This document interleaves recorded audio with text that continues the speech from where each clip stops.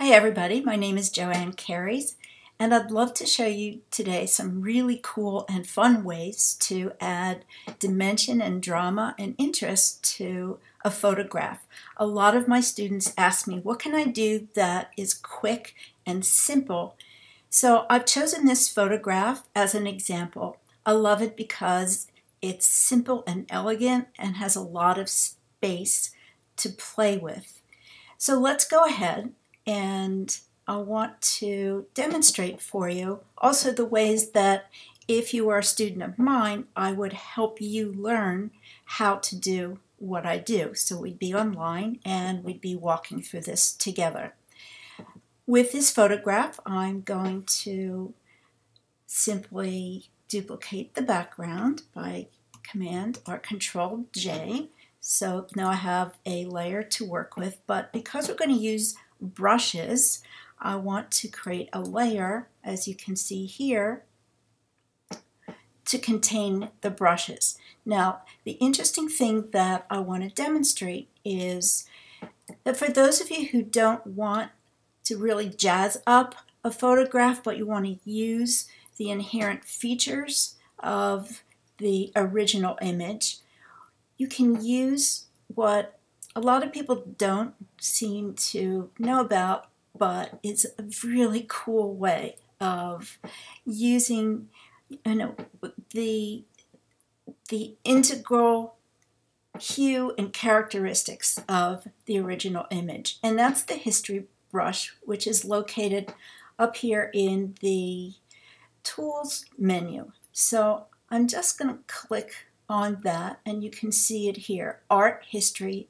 brush tool. And let me show you what you can do with this. So I've chosen a brush from my brush menu and it's an oil paint brush. You can get lots of great free brushes online from DeviantArt or Brusheezy. So I'm using one of those and it happens to be an oil paint brush. On this layer I'm going to start painting. Now notice the background colors are the native Photoshop colors, black for foreground, white for background. Not going to change any of that. So take a look. With my mouse, I'm going to apply the paint across the sky. And I'm not using any color whatsoever, simply drawing upon the color, the hue, the saturation of the colors in the original photograph. And I'm just sweeping across the sky really quickly to show you what that does.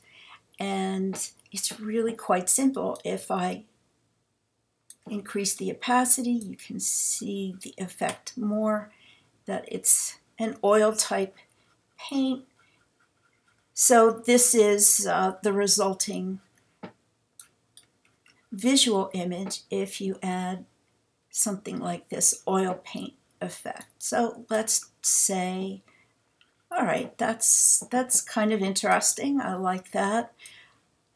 The other thing I want to point out is that in the art history tool menu, you have a style set of options right here at the top. So the one I've been using is dab, but look at all of these, tight short to loose curl. And that gives you some freedom to express the type of paint that you're going to apply. Let's try tight medium and see what happens. Okay, so that's going across the canvas like that. I'm going to lower the opacity and see what happens. Let's go to another layer and paint there. All right, so basically the paintbrush is borrowing from the original image and that is exactly where the art history brush is sitting. So all of the paint deposited, or so-called paint, is taken from this original image if the area that I paint over is dark, then you're going to see darkness deposited in that area. So let's move on to a different part of the image and create a new layer to work with. This is a great way of showing exactly what I mean by not adding color. So I'm going to use dab, same brush, and just make it a little bit smaller. Come down here on the left and let me increase the opacity and let's take a sweep over the grass. Notice not using green, I'm using only the green in the photograph. I think that's really cool. And if I come over here to the bottom, I want to pick up the green here as well. And you can increase or decrease the capacity, uh, I'm sorry, the opacity as you like. And now let's move on to the next part of the photograph. I want to, again, use the same brush. This time I'm going to sweep it across the foreground.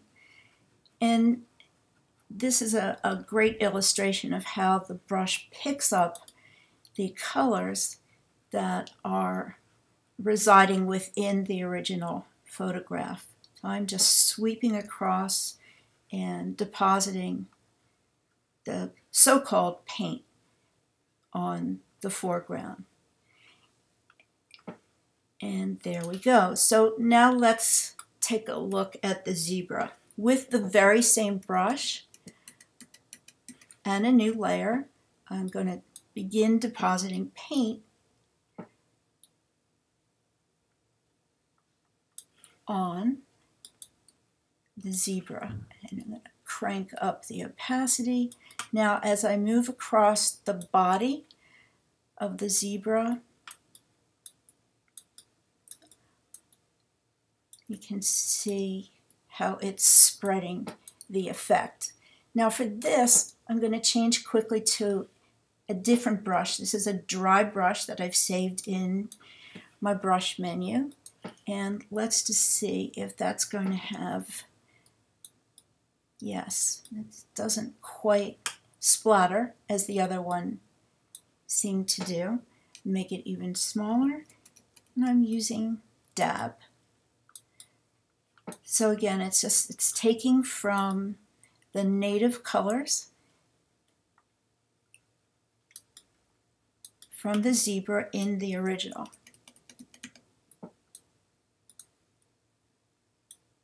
And so you can do as much or as little as you like. And let's say, all right, we're going to stop there because now you can change the opacity of that paint effect. If you're looking for something more photorealistic, then bring the opacity all the way down. And like something kind of in that area, leave it like that. So if we went no, no further beyond this, you'd have a really interesting image compared with the original. So let's turn these off. That's the original. And that is the painted effect. So, okay, that's really different. But let's go beyond that.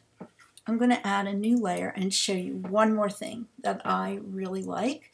Now let's with this history brush, let's go into the brush menu and I'm going to use the color dynamics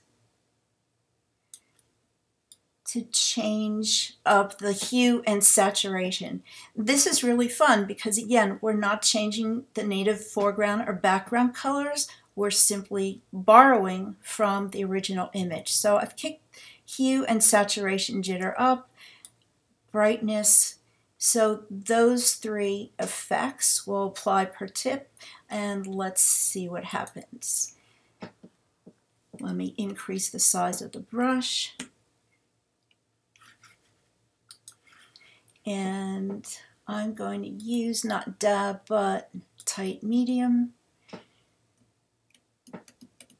Okay.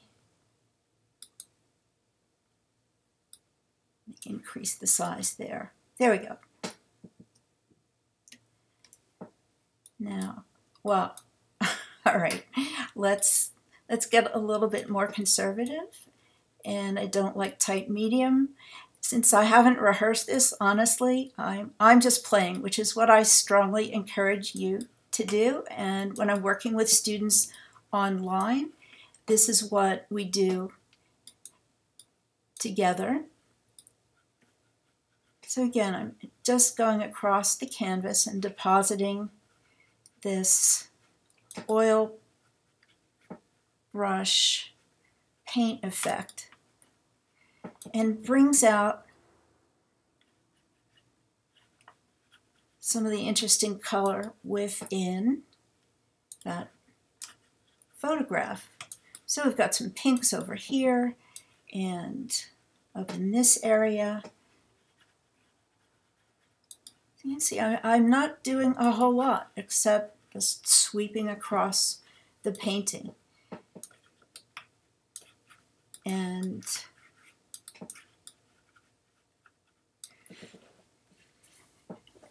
if you like that, you could finish there. You could keep on going. There's simply no limit to this. That's why I love Photoshop and I love teaching it.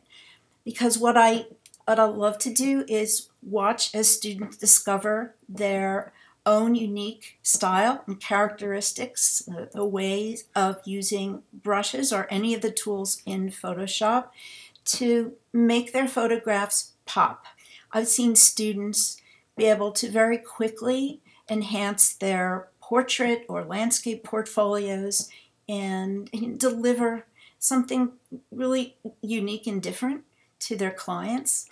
There's just, as I said, no end to this. If, if this is something that you'd like to learn more about, just give me a holler, visit my website, easyphotoshopmagic.com. I enjoy teaching private lessons or small group classes. So I hope to hear from you, and I hope you've enjoyed this how to paint with brushes tutorial. So bye for now. Thanks again.